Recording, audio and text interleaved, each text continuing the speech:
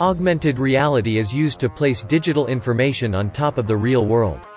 Mercedes-Benz's MBUX navigation system head-up display on the 2021 Mercedes S-Class does this with floating arrows to inform the driver where to turn. It's a helpful feature that reduces the need to look away from the road while using navigation. Panasonic Automotive has gone a few steps further with its own AR HUD that it unveiled at the annual CES Technology Conference. The Panasonic Automotive AR HUD system uses artificial intelligence similar to what we've seen used by driver assistance systems such as the Tesla Full Self-Driving Beta.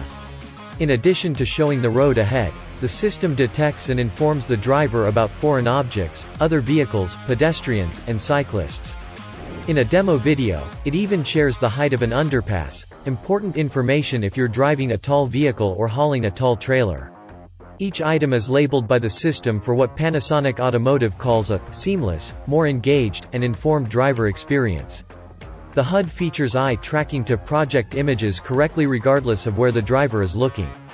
If it notices that the driver's head has turned, it adjusts the HUD elements being projected in less than 300 milliseconds to compensate. The AI system's navigation feature has to be extremely accurate in order to render the path down the road, arrows of where to turn, and lane markings.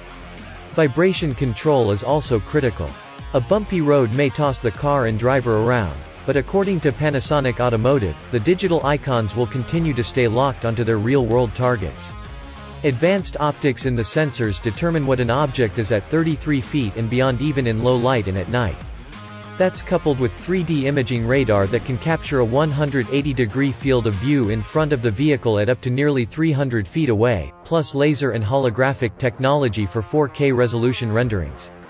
All this technology sounds great but doesn't mean much unless there's a real-world product on the way. A Panasonic automotive spokesperson told Car and Driver that while it cannot say which automaker plans on using the technology, the company anticipates the AR HUD to be integrated into a model year 2024 vehicle.